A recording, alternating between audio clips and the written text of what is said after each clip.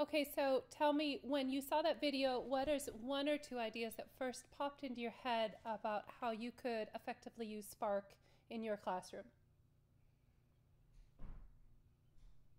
Well, as another means of communicating through visual and uh, verbal storytelling.